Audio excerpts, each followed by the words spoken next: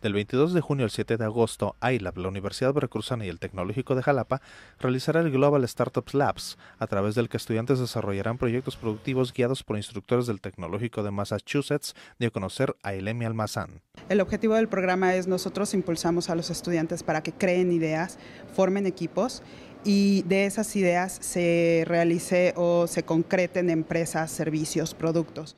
Por su parte, el director de la sede de la Facultad de Estadística e Informática de la UB, Gerardo Contreras Vega, mencionó que estas acciones son una oportunidad de innovación para los estudiantes. Pues una gran experiencia a todos ellos, ya que les permitió desarrollar un producto a lo largo del, curso, ideas sobre todo, y eso les deja una gran experiencia para que más adelante ellos puedan buscar emprender e incluso ser sus propios jefes cuando egresan de la, de la carrera. No es la primera vez que el Tecnológico de Jalapa interactúa con el MIT.